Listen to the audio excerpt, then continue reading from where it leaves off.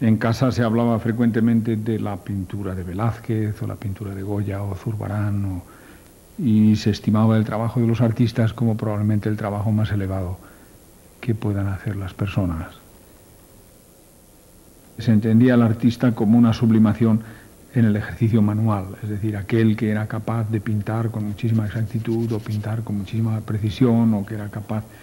de traducir aquellas cosas que no se podían decir de otra manera.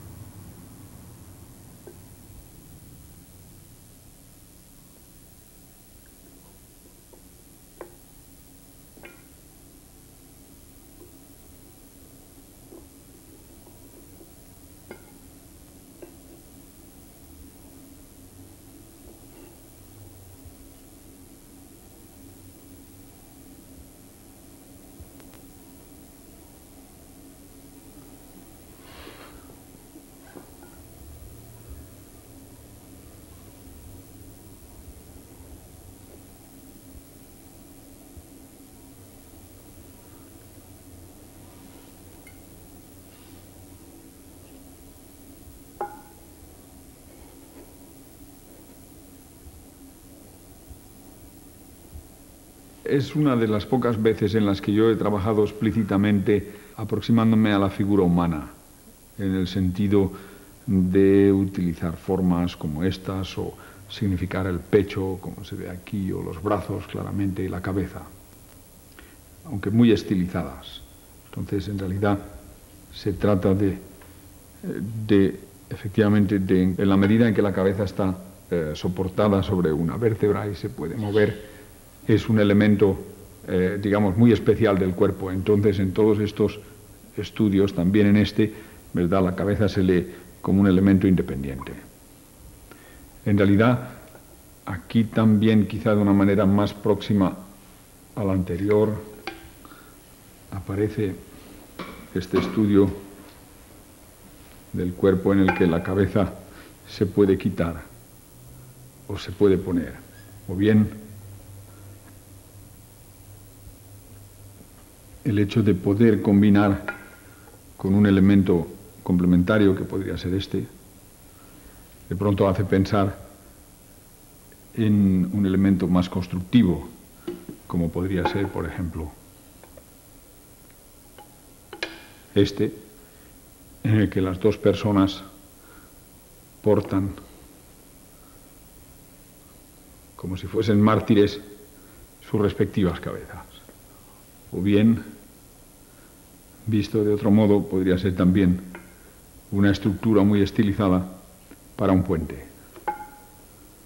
En ese sentido, las pilas se interpretarían, interpretarían figuras antropomorfas y los brazos serían los puntos desde los que los anclajes de los cables, parecidos a estos cables de aquí, emergerían. En todo caso, es un intento claro, ¿verdad?, de, a través de una aproximación a la figura humana, pasar a un planteamiento constructivista o constructivo de la solución de pilas de un puente, por ejemplo, o de un elemento estructural preciso.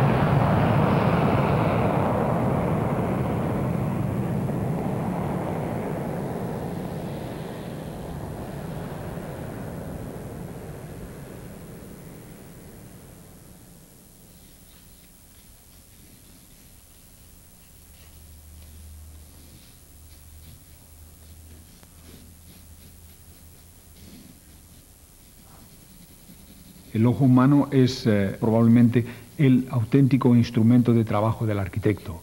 Es decir,